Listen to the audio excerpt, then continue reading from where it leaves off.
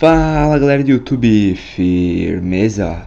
Lucas Killer aqui e hoje eu venho trazendo pra vocês mais gameplay do jogo Call of Duty Modern Warfare 3 Então galera, esse aqui vai ser um vídeo de dicas para rushar. Eu peguei uma parte da Dome assim, que eu tava no começo do level, do Prestige na verdade E eu tava sem algumas classes muito especiais para rushar tal.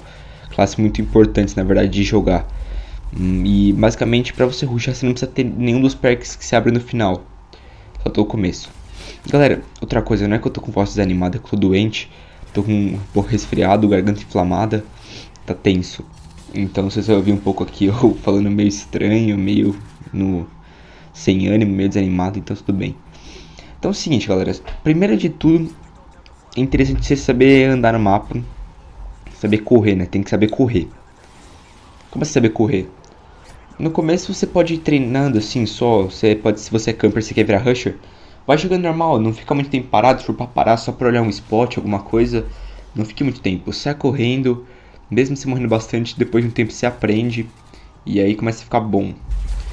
Então, é interessante você saber nos mapas, alguns lugares, por exemplo, que você possa cortar caminho. Você quer rushar, precisa pegar os inimigos ou de costas, ou até mesmo de frente, você precisa saber alguns lugares para cortar caminho.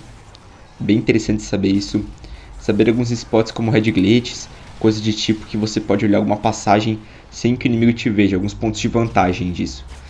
E aí você tem que saber usufruir de acordo com a partida. Você sai correndo, pega um desses spots, mata o cara, continua andando, pega os caminhos curtos para dar a volta. Por exemplo, um spot que eu peguei foi o vidro do carro. Mas, beleza.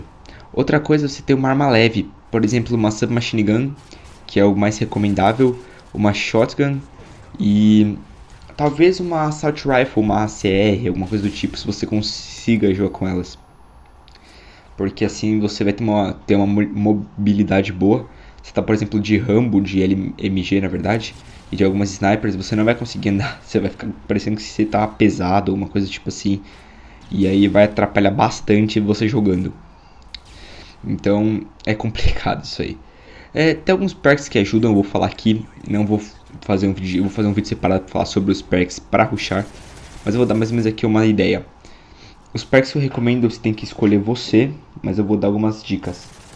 De perk 1 eu acho interessante o Slade of Hand e o Stream Conditioning. Um dos dois aí, os dois são bem interessantes. Outra coisa é, de perk 2 seria o Quick Draw e o Hardline, depende bastante do seu estilo de jogo. Se você gosta de pegar inimigo de frente, é bom o Quick Draw. De Perk 3, talvez um Stalker, uma coisa do tipo. Mas isso eu vou deixar para outro vídeo, tá, galera? Não, não vem reclamar dos perks, que é para outro vídeo. Uma coisa interessante também, galera, é você saber dar Jump Shot e Drop Shot. Não importa se você joga com o Default, né? Com o botão Stick Layout Default. Que você consegue dar Drop Shot. Eu, quando jogava assim, dava Drop Shot. Mas pra você conseguir dar Drop Shot com maior facilidade, você muda pro Tactical e você acaba se acostumando, sim, de certa forma, a dar drop shot. No começo é complicado, você vai dar drop shot de, quando o inimigo estiver de costas, toda hora. Você tá de longe tirando, você vai acabar deitando e perdendo aquilo, mas você se acostuma depois de um tempo a só usar quando, só quando necessário. É, também é interessante o jump shot, porque às vezes você quer entrar em alguma sala, algum lugar assim, você entra pulando, você tem uma vantagem maior sobre o inimigo. Isso é bem legal você fazer em algumas, alguns mapas mais fechados, você quer passar num corredor, você entra pulando, você vai saber que tem inimigo ali, você tem uma chance maior de ganhar. Porque se ele estiver deitado, vai dar prone block ou algo do tipo.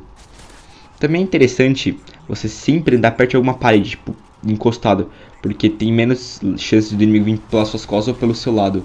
E aí você acaba pegando com maior facilidade os kills e sendo menos surpreendido. Se você não tem uma noção de respawn, essas coisas, é bem legal você andar sempre perto de alguma parede, algo do tipo né? Porque você vai ser pouco surpreendido e acaba ajudando muito, muito mesmo na gameplay. Basicamente essas são as dicas básicas que eu dou, galera. Se você gostou aí, você deixa no comentário o que você achou do vídeo, por favor. Deixe sua avaliação em geral. Também, se possível, veja meu Twitter, que é lá que eu falo quando vai ter é, live stream. Eu estou em alguma live stream, algum open lobby e coisas do tipo. Então é isso aí, galera. Valeu, falou.